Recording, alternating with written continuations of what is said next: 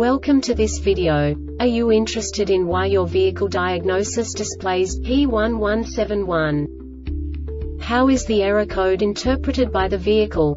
What does P1171 mean, or how to correct this fault? Today we will find answers to these questions together. Let's do this. First, let's look at the history of diagnostic fault code composition according to the OBD2 protocol, which is unified for all automakers since 2000.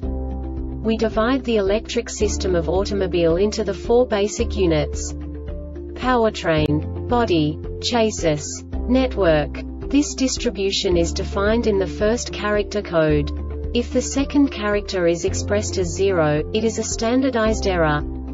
In the case of numbers 1, 2, 3 it is a more prestigious expression of the car-specific error.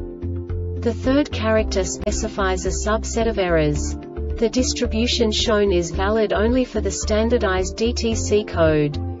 Only the last two characters define the specific fault of the group. Let's not forget that such a division is valid only if the other character code is expressed by the number 0. Our website airbagreset.sk produces useful videos for you. You do not have to go through the OBD2 protocol anymore to know how to troubleshoot any car breakdown. You will find all the diagnostic codes that can be diagnosed in Oldsmobile vehicles. Also many other useful things. The following demonstration will help you look into the world of software for car control units. You unbelievably can move the video a bit further. The error code is split into two bytes consisting of 16 bits. One bit is the basic unit that each computer works with. The bit has two logical states. 0, low level, 1, high level. By combining the first two bits, the basic character of the error code is expressed. The next two beats again determine the second character. The last beat styles of the first byte define the third character of the code. The second byte is composed of a combination of 8 bits. The first 4 bits determine the fourth character of the code. And the combination of the last 4 bits defines the fifth character. A single byte conceals 256 possible combinations.